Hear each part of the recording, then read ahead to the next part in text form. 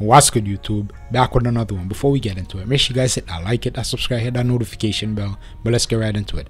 That boy Baby2 released his first statement after a Canada-wide warrant was issued for his arrest in the connection of the shooting death of a security guard in Pickering. Now Baby2 posted to his Instagram, stop talking what you don't know.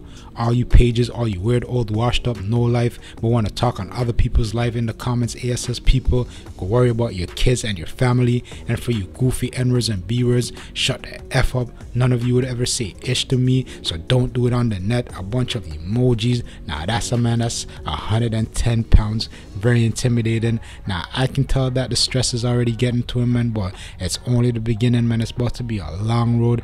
Now like i said in my last video he's innocent until proven guilty for all we know. It could be a big misunderstanding. And we all know the security guards man they like to use excessive force. So for all we know it could be self-defense. We never know man until all the facts are out there. But y'all can let me know your thoughts in the comment section